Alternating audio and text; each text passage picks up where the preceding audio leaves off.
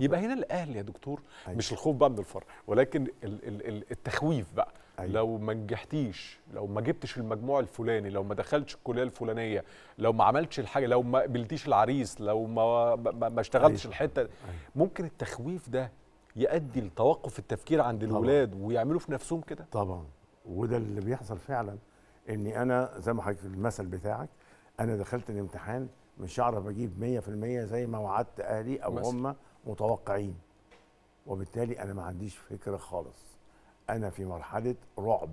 إزاي هكون ساقط في الامتحان وأنا النتيجة تطلع مش زي ما وعدتهم؟ مم. فبالتالي تفكيري يقف وأعمل الكلام ده.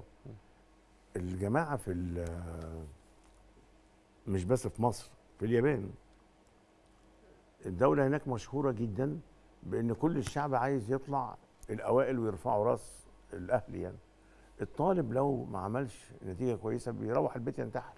آه موضوع الانتحار وانتحار المسؤولين آه. وال- والقضايا الفساد والانتحار وحاجة يعني.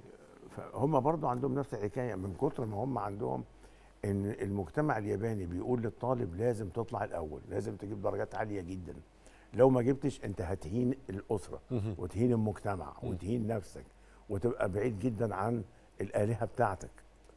فالشاب أو الطفل من بيبقى عليه ضغوط نفسية كبيرة. فظيعة.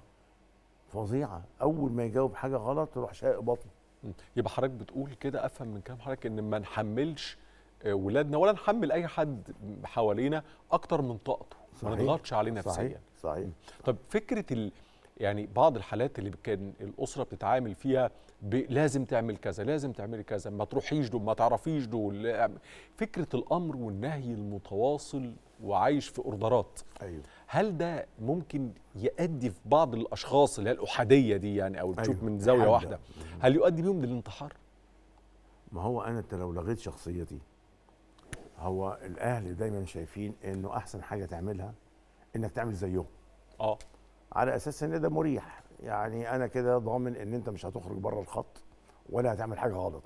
بما إن أنا ماشي صح وأنت هتقلدني يبقى أنت ماشي صح. يعني هو مين كان ماشي صح؟ مع إن ما أنا بستغرب أكيد الأب لأن- نفسه أخطأ وما كانش يعني ما خدش جائزه نوبل. يعني كان إنسان عادي يعني. لو هو ربنا قال لنا كده قال لك كل ابن آدم خطاء. صحيح. بأمارة أنت مش هتغلط يعني. مثلا يعني. فالمهم هنا الأهالي بيصروا على إن الابن أو البنت تمشي على شريط القطر اللي هم عايزينه.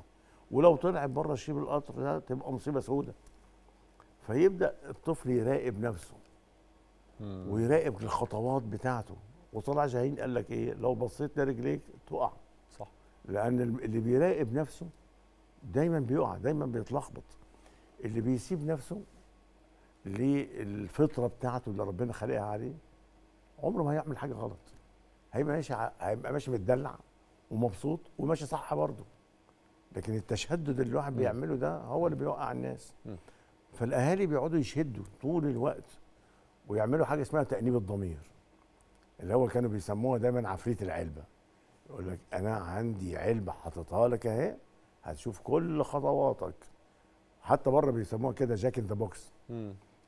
بعد كده الواحد بيكبر ولا في أي حاجة والأب والأم مشوا راحوا خرجوا بس سايبين العلبة وأنا متوقع ان العلبة دي هيطلع فيها العفريت يقول لهم على كل اللي أنا بعمله زي اوضة الفيران وزي العصفورة وزي ال- هي العصفورة العصفورة. اللي